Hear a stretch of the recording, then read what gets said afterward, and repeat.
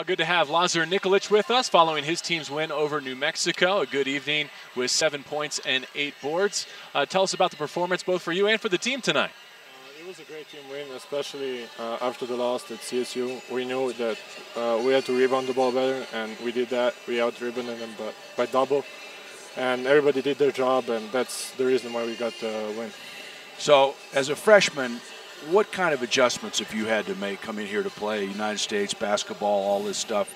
Uh, new school, CU, academics. What what kind of adjustments been the hardest? It was definitely a big adjustment, uh, both uh, basketball-wise and life-wise, with the with the school and everything. But the the coaches and the team helped me a lot, and I'm really grateful for that. Seen some of your highlights here. My favorite was uh, calling for the alley oop in transition. We didn't know you had that in you. Yeah, people think I don't have it, but now everybody knows I have it. now we know. Oh, you think that one play, everybody's going to know you have it now? Yeah. Okay. Yeah, yeah. Well, okay, that works for me.